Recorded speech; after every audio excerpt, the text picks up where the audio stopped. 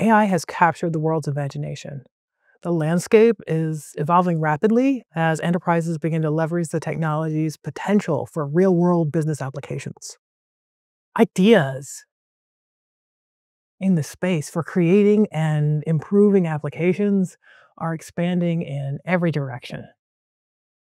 And at the heart of these ideas are AI accelerators, hardware accelerators, which is specific hardware designed for the inferencing and AI workloads. These enable the transformation because they enable faster and more efficient processing. I like to think of where we are right now in the AI landscape uh, as where the world was when the automobile was invented. So at first, all automobiles basically looked the same, more or less shaped like the wagons and carriages they were meant to replace. But very quickly, the world and industry realized, wow, we could make ambulances and passenger cars and race cars and refrigerated milk trucks. And all of these things have vastly different customizations in order to achieve their purpose. That's really where we are with AI in 2025. Uh, one size no longer fits all when it comes to AI. Hardware accelerators are really great at helping to right size solutions uh, for AI and to really explain the intersection between hardware acceleration and AI. Let's take a admittedly simplified look at the AI stack. So at its fundamental level at the bottom, we have infrastructure. That's hard to spell. Uh, it's hardware.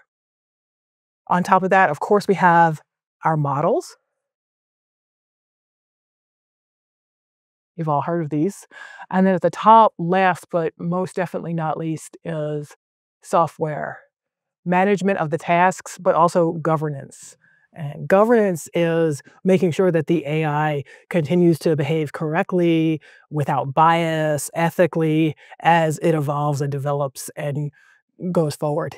In addition, the software manages security, making sure that the AI model data and the data that's fed in and out of those models remains private and secure.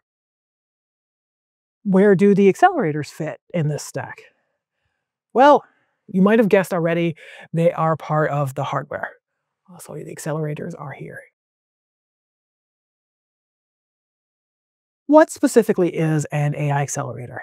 Again, this is purpose-built hardware, silicon that's built and optimized for the high compute matrix math mathematics that is necessary to do AI transactions. So the linear algebra, the tensor calculations, this hardware is laid out specifically. The silicon is designed to optimize and do that faster so that the inferencing answers can happen faster with reduced power consumption and a smaller physical footprint compared to a general purpose piece of hardware that's designed to do everything and therefore has to cover all bases.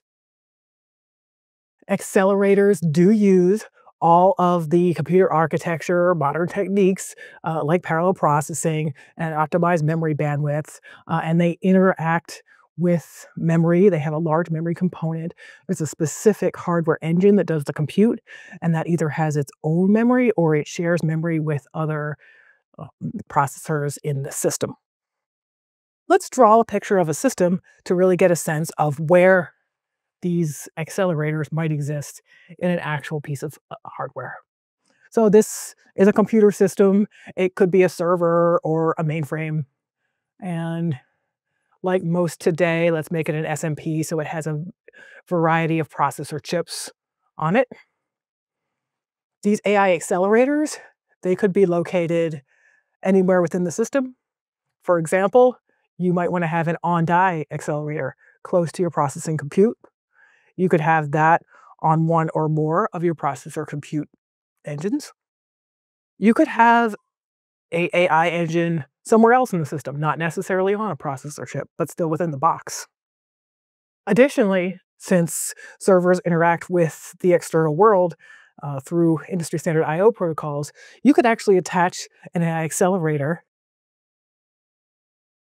externally to the box. And those accelerators could come with their own compute as well as their own memory. The other thing to note about these hardware accelerators, and this is what really provides that flexibility and scale that we really need in computing today to enable all of these use cases and these ideas that people are coming up with in, in the AI industry, is the concept that each one of these AI engines doesn't have to be the exact same design. Your on-chip accelerator, for example, could be optimized in a different way for a different type of workloads than the one that's inside the system, which may or may not be different from the ones that you attach to the box. So there's definitely a heterogeneous system of hardware and within hardware, a heterogeneous system of accelerators uh, that are becoming available so that we can meet these growing AI needs. To really see how these accelerators now interact with the rest of the stack, let's take a couple minutes to just think about models for a second. And I think, you know, we all, I think, are familiar now with our traditional AI models, right? Machine learning, uh, you know, deep learning. These are relatively fast. They're relatively small in terms of model size. And they're pretty good at coming up with, I'll say, suggestions.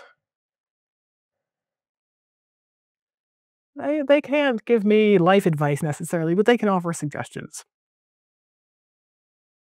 Gen AI coming out in recent years, more complex, right? Another level, right? They're generative, right? Versus predictive, right? These are things like our LLMs and, and simulators and things, right? These are much larger models in general. But they have, you know, they, they take more energy to run, they're more costly, but they're also more powerful in terms of delivering accuracy and doing more complex things. They can, dare I say it, maybe not give life advice, but in some cases give, you know, advice, do some advisement, right?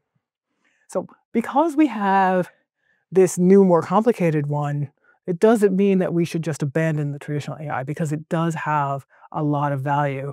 Uh, most notably, it's fast and it's small and it's less expensive, right? So if we can get a, a you know a good answer out of that, it's worthwhile to use it. Really, right sizing your model is where you want to be when you're doing AI.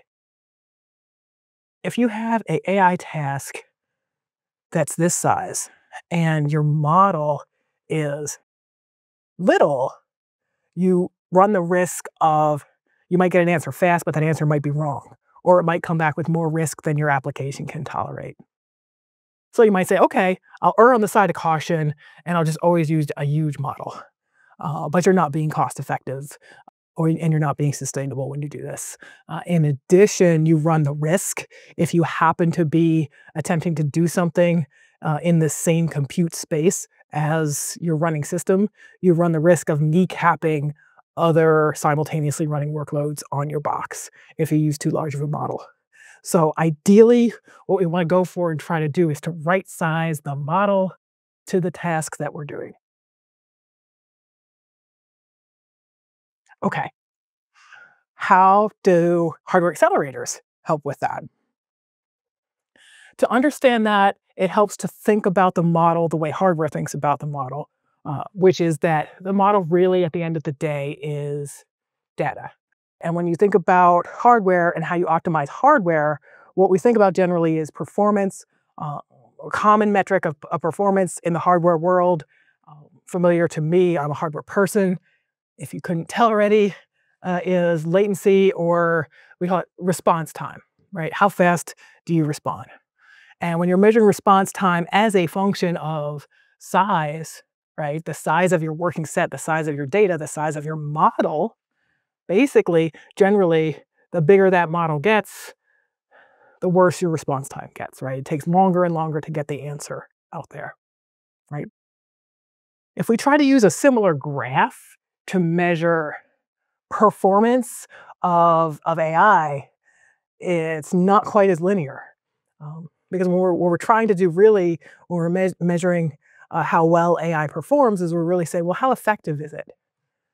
And if you try to, to draw a graph like this, it would end up looking a little bit more confusing.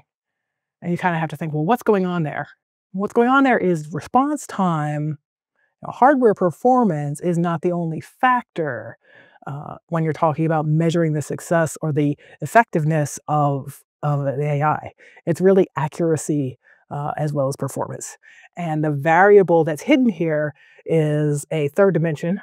Bear with me as I try to draw a third dimension, um, which we touched on before. I hinted at it. Uh, it's really your use case, right? And that green line is really coming out in the third dimension here. So the questions you want to be asking when you're trying to decide what model to use uh, are, you know, how much risk do I need? If I'm a credit card fraud detection system, um, you know, I I have a different risk profile. I have different inputs. I have different levels of tolerance than I do if I'm a batch document summarization process, right? So those factors drive the need for models that align with specific use cases. So at the end of the day, what's happening is your use case is dictating your model size. And if you have knowledge of your model size and you have access to these hardware accelerators, then you can leverage these hardware accelerators and run the model that you need on the optimized hardware accelerator for the task at hand. Let me illustrate all this with an example. It's a common example, but it's one of my favorites uh, because it's very personal and it resonates, I think, with everybody. It's credit card fraud detect, right? I want to use my credit card online all the time, and I want to hit pay now and I want it to go through as long as it's me. If it's not me, I want it to stop. So that task is fairly complex. Uh, it also has a high dependence on response time because you know I don't. I'm going to navigate away if it takes too long uh, to to use this site. I'll go someplace else, right? So let's illustrate how we might use AI models and hardware accelerators to optimize for that use case. So we have a task uh, here. And really that task is, is it fraud? All right, I want to get the answer as fast as possible. So maybe I'll start by using a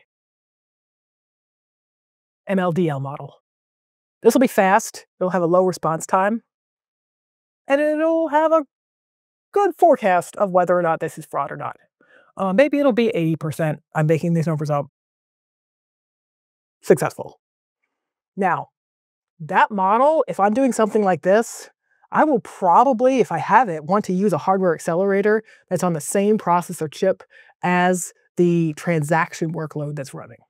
The reason is that transaction workload already has the data that needs to go into that model, and the model is a relatively small size, so you can pull that data into the cache right there in the processor chip and enable in real time actually getting uh, you know, your suggestion of whether or not this is fraud very quickly.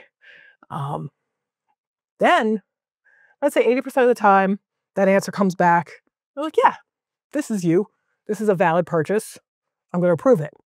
And then you get your toy that you bought and nobody loses any money and everything is good. But maybe 20% of the time, the model says, hmm, I'm not sure. Some things look legit, but some things look suspicious. Uh, we need to take a deeper look at this. At that point, then you could decide that now you know it's worth the investment of going into a more expensive Gen AI model. And that model requires a lot more memory because it's a much bigger model. So you wouldn't be using the AI engine in this case uh, that you had on your die. You might want to use an AI engine that's on a different die that's not running a performance critical workload, or maybe one that's in a different place on the system, or maybe one attached and sharded through the IO peripherals that has its own memory based off of that, if you have that flexibility, then you can decide which to use and the hardware can use that. And then at the end of that transaction, it can come out and say, no, it was good. It's okay. It Turns out that that was the right one. So the idea here is using more than one model uh, this concept of multi-model AI or ensemble AI um, can really be supported and enabled and optimized by having these hardware accelerators that are optimized for different model types. And then you, know, you think about when you're doing AI, the last thing to think about here is, you know, we're not doing one of these a day, right? We're doing millions of these a day, many of them at the same time, right? So You want to have all of these processing AI engines running all at the same time, doing different things, and then the next second or millisecond, it's doing a completely different model with a completely different task. So hardware accelerators give you the flexibility to do that at scale. And because of that, um, they intersect well with the AI stack as we know it today and are really starting to really be used to ensure that we're continuing to expand and meet business need by deploying scalable, efficient, and secure AI to meet today's business problems and tomorrow's.